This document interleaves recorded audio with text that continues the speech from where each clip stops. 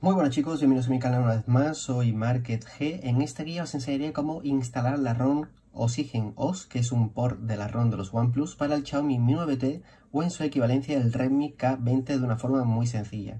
Bien, los requisitos a tener en cuenta es tener el bootloader abierto, tener el TWRP instalado, ya sea el TWRP o el Oran Fox, tener bajada la última ROM disponible de esta ROM, evidentemente, y tener el firmware eh, de Android 10, ¿vale? Eh, bien, avisos antes de instalar la ROM. La ROM se encuentra en desarrollo y hay cosas que no funcionan.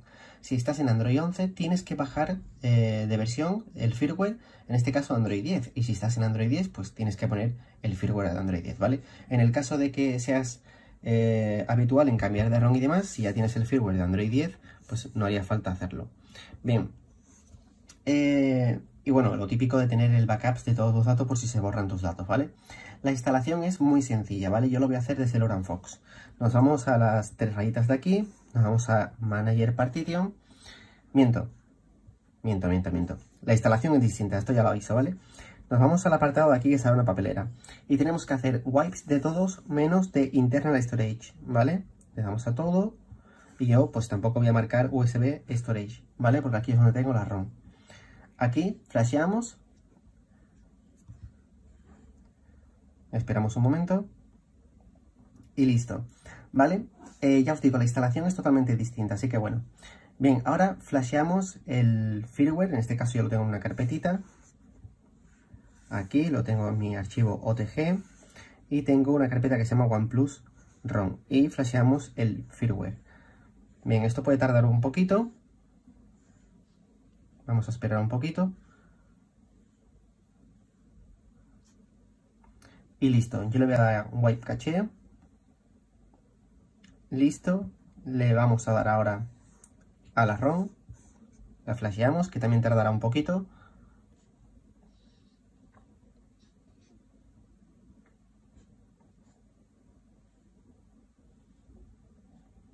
Vamos a esperar. Por cierto, no hace falta instalar las Google Gaps ni el Disable Forcer Encryption, ¿vale? Eh, lo he probado y da error, ¿vale? Cuando lo hacéis, pues bueno. Luego, cuando queráis cambiar de ROM, pues tenéis que volver a hacer un format data. Bien, vamos, vamos a esperar un poco. Ya veis que estoy aquí de fondo con los chiquillos y, y me va a costar hacer el vídeo un poco, pero bueno. Vamos a esperar un poquito. Que me va a ser imposible, también lo digo. Vamos a esperar.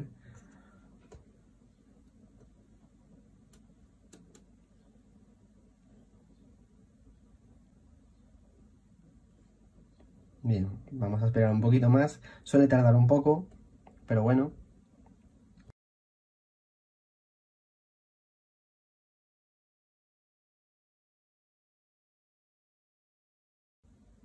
Bien, ya terminado, le damos a Web Cache. Le damos hacia atrás y ahora le damos a Manager Partition, Data y hacemos un Format Data. Le damos a Yes Y listo, ya podemos reiniciar en el sistema. Como veis, el logotipo que os comenté en el análisis de Cyberpunk.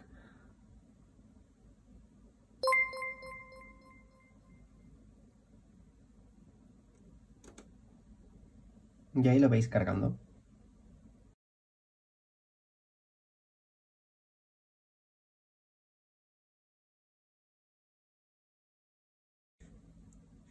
Y listo. Así que bueno, pues esto es la instalación. Suele tardar mucho. Eh, he adelantado el vídeo porque hay partes en las que tarda muchísimo el animación. Pero bueno, ya configuráis la ROM a vuestro gusto, español y demás.